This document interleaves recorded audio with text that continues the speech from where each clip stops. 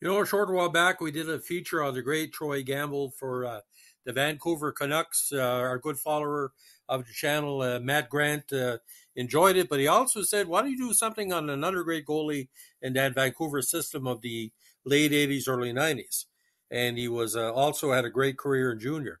So today we're talking about the guy who was everywhere and uh, was very impressive in the Russian Super League for a while, the very underrated and the very talented Mike Fountain. Now, born Michael Fountain in North York, Ontario, uh, played in the NHL with the Canucks, the Hurricanes, and Senators. He played numerous campaigns in the AHL, as well as in the Russian Super League. Since retiring as a player, he became an assistant coach for Team Canada's very talented para hockey squad. Now, he grew up in a small town of Gravenhurst, Ontario. As a 15 year old, Fountain played junior C hockey for the Huntsville Blair McCanns in the 88 89 season. He was named Rookie of the Year and made the All Star team. Fountain was so good he was drafted in the 15th round of the 89 OHL draft by the Sault Ste. Marie Greyhounds. After being uh, drafted by the Soo, he was assigned to the Chatham Micmacs Junior B Hockey Club in 89 90, where he was teammates with future NHL players Todd Warriner and Brian Wiseman.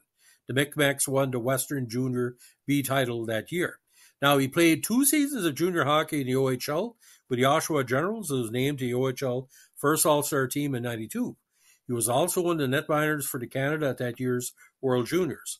Following his junior success, he was selected 45th overall in the 92 NHL entry draft by the Vancouver Canucks. Very strong number two uh, uh, draft that year for all NHL players. Now, he turned pro for 93 and was signed to the Hamilton Canucks of the AHL. He played for the Syracuse Crunch from 94 to 97 with a goals against average of 3.2.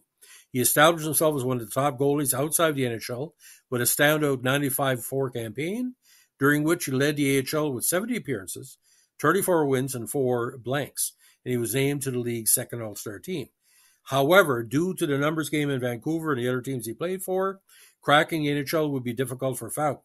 Just as it appeared he was ready to succeed Kay Whitmore as a backup to Kirk McLean with the Canucks, the, the team acquired highly rated Corey Hirsch, who passed Fountain on the depth chart and was promoted directly to the NHL.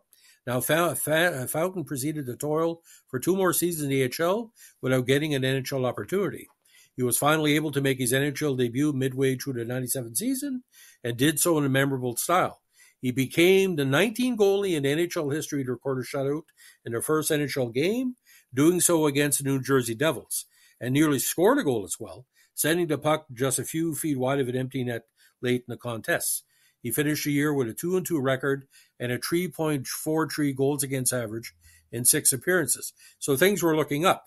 He then left Vancouver to sign as a free agent with Carolina for 98 he then signed with the Senators in 99 and spent two seasons with the organization as their third goalie, appearing in one NHL game in both years while performing well in the, the IHL and setting standards for Griffins goalies. Uh, no Griffins goalies has attained since. He was named to the IHL All Star team in the 21 campaign, 2001 campaign. Now, in 2001, he left North America to sign in the Russian Super League with HC Lada Togliatti and led the RHL in goals against average in the first season. He was also set the all-time Russian shutout record with 14 blanks and 43 starts. After two years in Russia, he signed in Germany for 2004 with the Iserlohn Roosters. He returned to Russia in 2005, playing for Traktor Chelyabinsk, where he won the Russian title and was named MVP before rejoining Lada in 2006. Now, Fountain's very, very limited, but very, very uh, recognized NHL career. He went two and six in 11 games with Carolina, Vancouver, and Ottawa with a 3.47 goals against average. Again, 89 in Huntsville, 18 3 and 2. Uh, 90 with the, the Micmacs, 21 games, 3.65 average. Sault Ste. Marie in 91, split time between that and Oshawa with uh, 22 wins, 7 losses, 1 tie. He also went 1 and 4 in the playoffs. Oshawa again, 18, 13, and 6 in 92. With the Hamilton Canucks in uh, 93, 2 and 8 record, and 7 5 and 1 with the Canadian national touring team. Now, in 94, with the Hamilton Canucks, again, that super 70 game season, 34, 28, and 6 with four shutouts, and he went 0 2 in the playoffs. So 73 contests that year. 95 in Syracuse of the AHL, 25, 29, 7, 61 games. 96 with Syracuse, 54 games, 21, 27, and 3, and 8 and 7 in the postseason. Vancouver in uh, 97, 2 and 2 with a 3.43, with Syracuse 8, 14, and 2 in 25 games. 95, he went 0 and 3 with uh, Carolina, uh, 3.68 average, but with the Beasts of New Haven, he went 25, 19, and 5 in 50 contests. 99 with the Beasts, 23, 24, and 3. 2000, one game with Ottawa, uh, 3.87 average in 16 minutes. Also played with Grand Rapids that year, 21, 7, and 4, three shutouts. 01 with Ottawa, a one loss, 3.07 average. Uh, Grand Rapids, 52 games, 34, 10, and 6. Now with Lada, he played 30, uh, 43 games in 02, 14 shutouts, 21 games in 03, five blanks. Uh, 04 with the Roosters, 34 contests.